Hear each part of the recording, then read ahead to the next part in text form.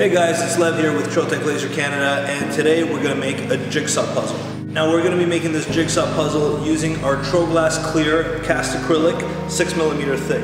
We're also going to be using our Mutoh ValueJet 426 UF UV printer. This is another great application how UV printing and laser cutting technologies work together. What we're going to be doing is taking our clear acrylic, putting it into the UV printer. We're going to be UV printing the back of the acrylic with white on color so we can actually see the color through the acrylic while we have white on the back. After we finish with the UV printing, we place the job into the Speedy 360 and then we're actually going to engrave the front part with the text and the Trotec logo.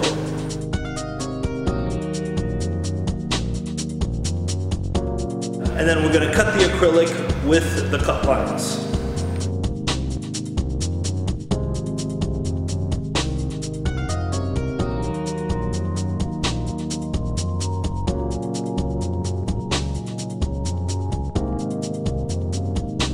This is a great application for promotional and gaming companies. As you can see, the laser cut actually gives a really nice flame polished edge to our acrylic. So you can you don't have to use acrylic, you can use MDF wood and engrave, but in this case we do have color uh, behind the acrylic.